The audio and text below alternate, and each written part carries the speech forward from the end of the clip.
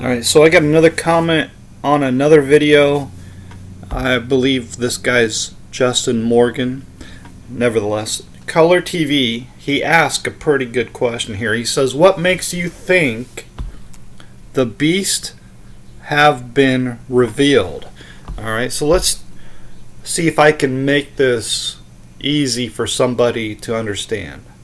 Alright, so the beast of Daniel, Daniel talks about four beasts.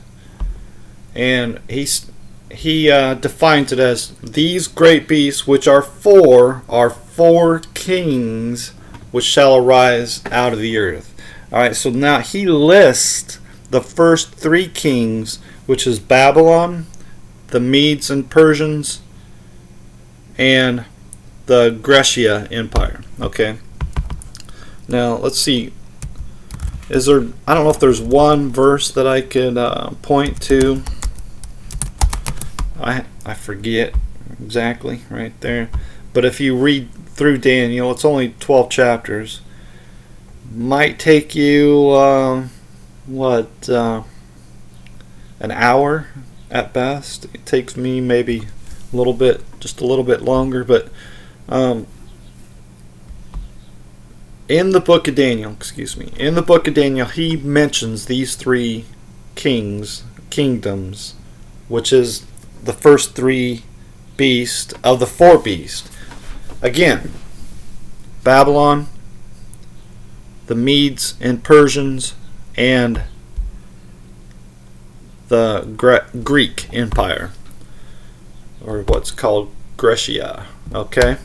Now, the fourth beast is not mentioned. Why is this important? Because he talks about the four beasts until the end of the world.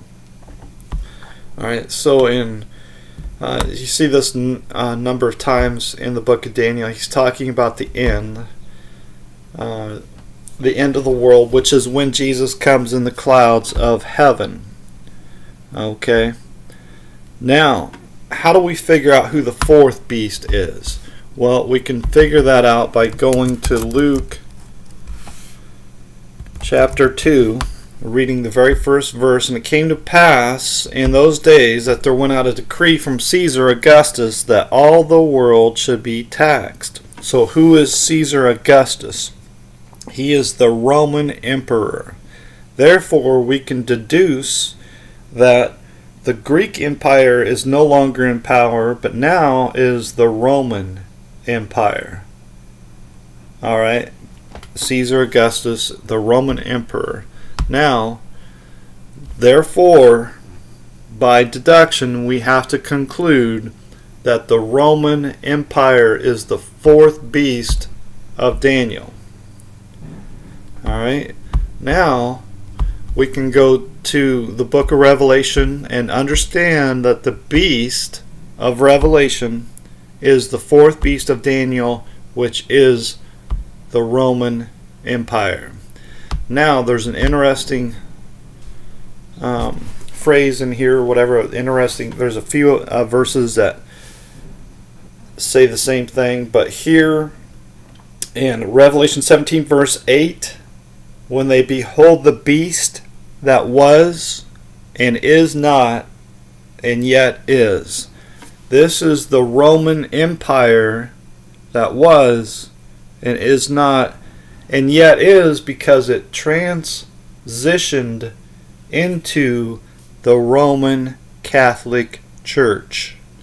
In other words, it went from a physical empire into a spiritual empire.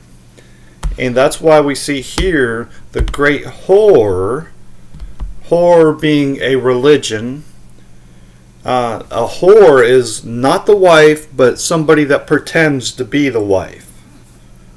Right? Like a fake wife. The great whore that sits upon many waters. Alright, and what's that mean?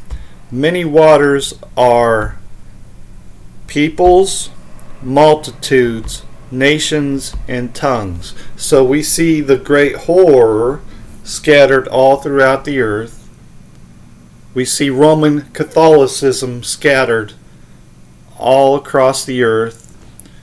They are among peoples, multitudes, nations, and tongues. They claim over one over one billion followers, and uh, so it when you have faith in the Word of God, when you have faith in the Bible that you hold in your hands, God will reveal these things for you. The secret to understanding the Word of God is faith. And you'll find out that faith is the key to everything. Okay? And I think that's it.